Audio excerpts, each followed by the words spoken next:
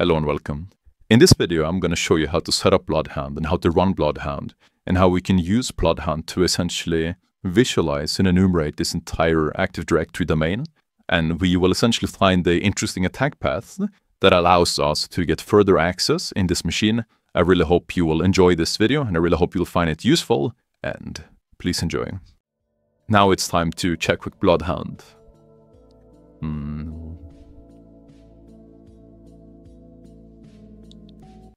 So yeah.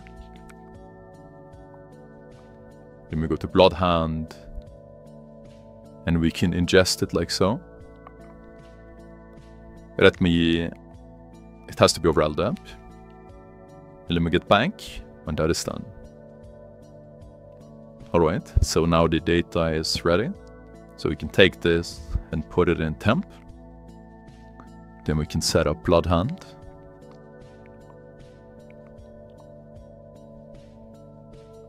Pretty much just do this. And you know, this is my preferred way of doing it, so it's just always stable and reliable.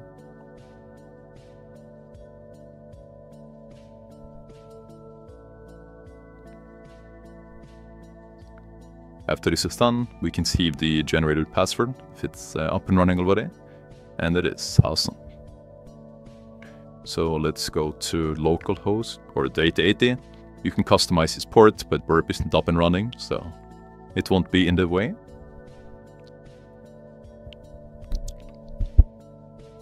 Generate a new simple password.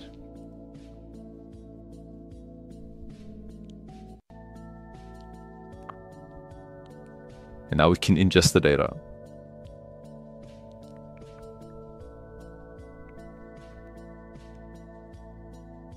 I put mine in temp so it's easy to be able to actually use. So this will be ingesting and uh, I will be back to you once it's properly done. So it is complete, didn't take that long. So we can now explore with all of the data that we have. So um, we ran it using Ryan but we want to make sure that all of the user sites we actually have, we will start off by setting as, uh, as owned. So let's go to Ryan. And let add Ryan to owned. And let's do the same thing for Rose.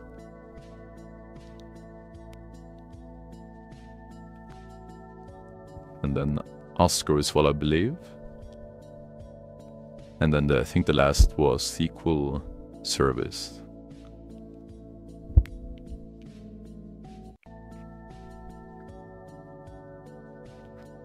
So now we have a bit more overview. We can go to these hyperqueries and just take a look at some basic things. So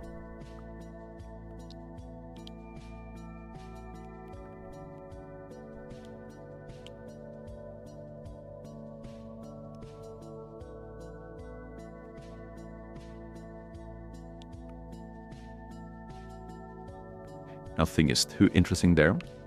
The Kerberoseable users, again, we will see soon. None of those were able to crack the hash. I, it's most likely rabbit hole. We try, tried three huge lists, but something to keep in mind. No Azure users. Let's go to some of the shortest paths.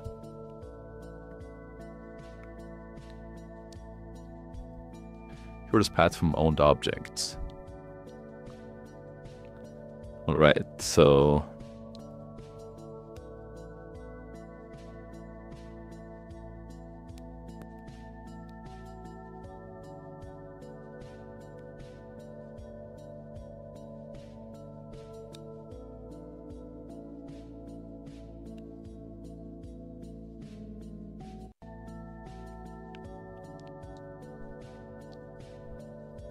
Immediately I see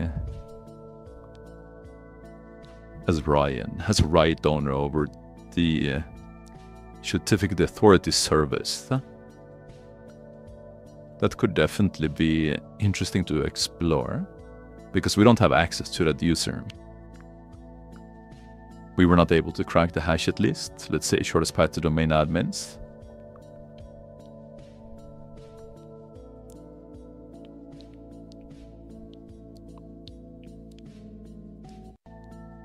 Yeah. I don't really see anything interesting. Let me go to all the users. The most interesting so far is the Ryan, by far. So these are the owned objects, right, the two marked.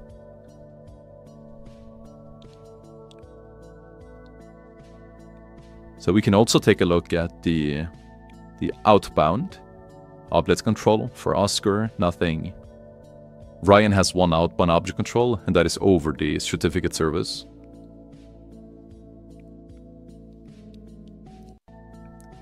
SQL service has nothing, and the same thing with Rose again. So I definitely want to take a look at this thing then. This seems like the most likely path so far. Hmm. And the certificate service.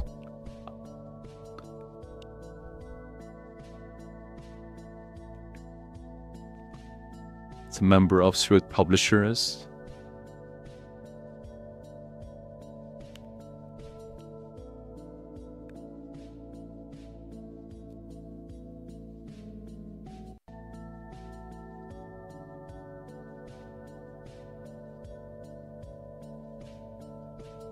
Clear?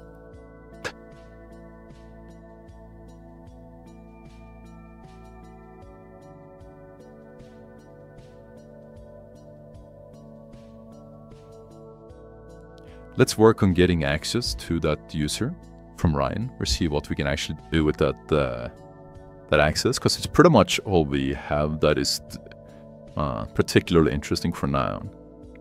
So to change the ownership of the object, you may use Impact Owner Edit, grant ownership. Okay, so we can essentially take ownership over that user. And you can grant yourself generic all permissions.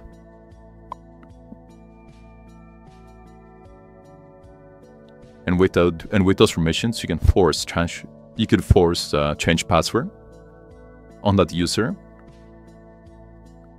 And this is also the certificate authority service, right? So we checked all of the attacks earlier with the users that we had access to using uh, Certify.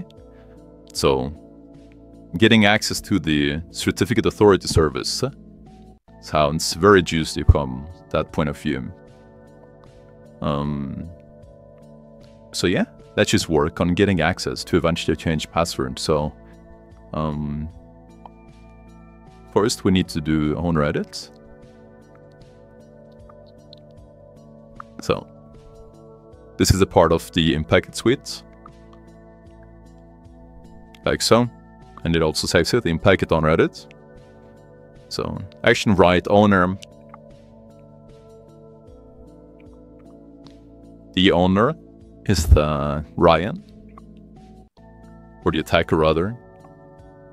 The victim is certificate service. The domain is SQL, ActiveBox. The user is Ryan. And his password we have in the notes. Right here.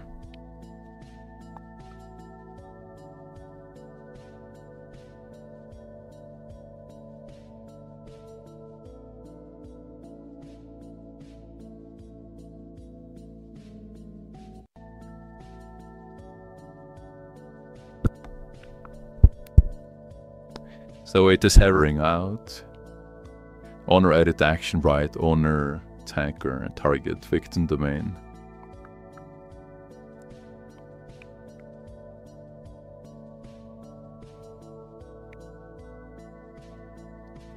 I'm not sure any of that really looks wrong. I can try with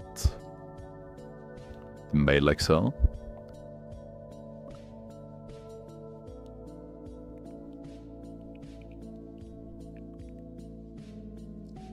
No. Okay. Then let's do some um, some research. So let's see.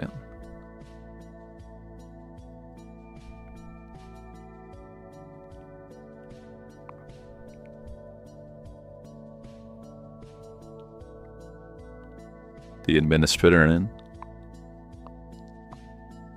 Escape to Arcane.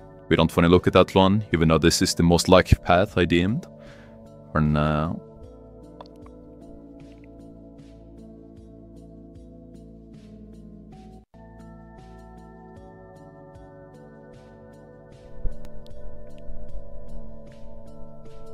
Target the end. I think that's the distinguished name.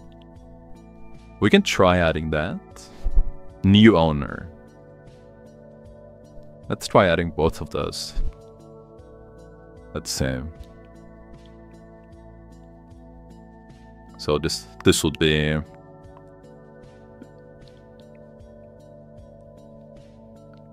DC equals token. Try that. Hmm. Okay, yeah, it says new owner.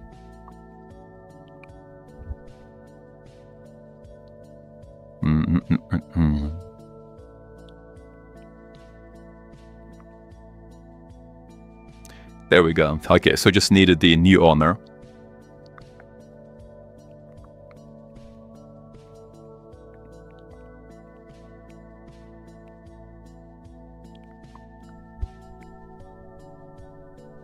then now we have taken ownership over this user pretty much. So the next thing we could do is to grant all the rights to this uh, this user certificate authority service. So we will do like so. And these machines can also reset these rights, which is uh, something to be mindful of. So we give them full control. The principal will be Ryan. This will be the certificate authority service with their underscore. Domain is SQL hack the box. The user is Ryan. And a password is this.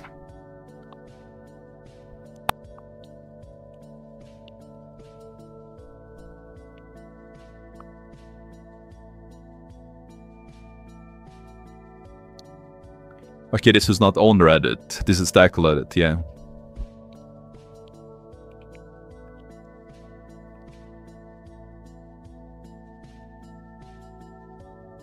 Insufficient right, so it probably reset.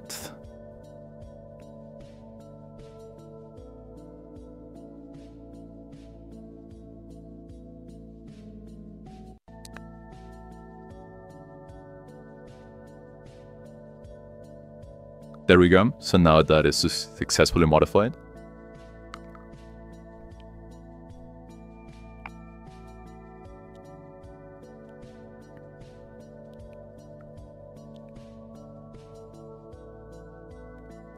So we can essentially recurve roast, which we've already done, I believe, but we couldn't crack it.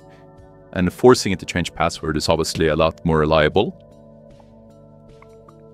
So Let's do that.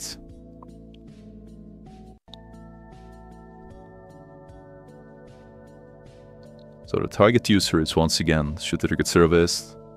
The new password can be can be this. Uh, yeah, it doesn't matter. You can do like so with single quotes. The domain is SQL hack the box. The user is Ryan and the password of Ryan will be this. The end domain controller is target. Let's try that. Let's see if that actually worked. So we could try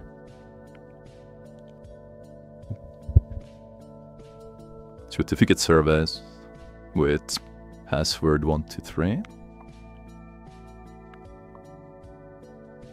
There we go. That actually did work.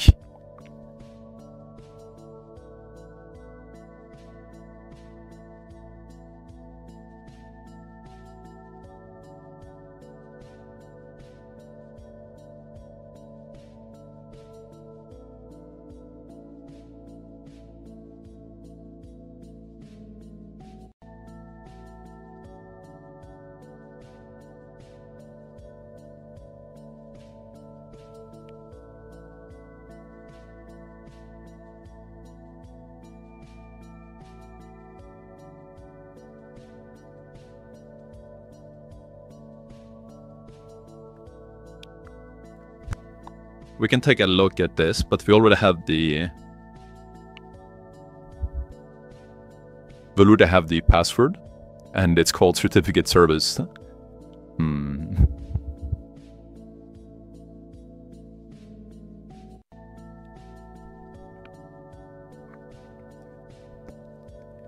So I'm not sure uh, really how interesting interested I am in that.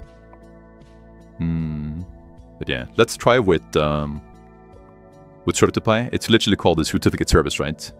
So having full permissions would be very interesting. Certify.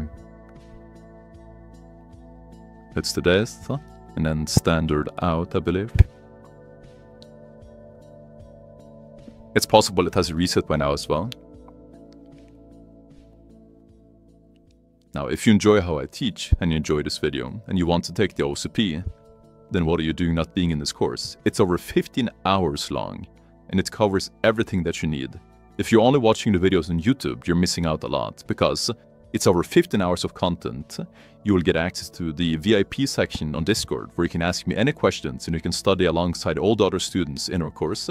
Right now, you will also get access to this checklist right here which will cover at least 95% plus of all the attacks and all the techniques that you need to know for every single section. Not only initial access, but AD, pivoting, Linux, and Windows privilege escalation. And the goal for you is to reach uh, proficient or at least basic competence on all of them. That's one of the things. We also have this entire roadmap right here, where there's a bunch of action steps and a bunch of cheat sheets inside all of these hyperlinks that I can't show you in this video, but once you have completed all of them, you know for a fact that you will be ready to get into the OCP exams and absolutely crush it. If that sounds interesting to you, to get all of this in 15 hour plus of video footage of someone who has OCP, who explains different attacks and techniques and methodologies, it's going to be invaluable to you. Now, some people are confused with the offer. If you're interested in the notes, these are the notes that you will constantly see me use in the videos, right? They're pretty much recommended to go hand in hand with the uh, course and I use them constantly in the course itself, right? So I think you'll find it extremely useful. That's also why we have the third offer, which is the bundle, where you can buy both of these together for a discount. I hope that clarifies things. Best of luck on your OCP journey. I really hope this will be massively useful to you. I'll see you in the next video.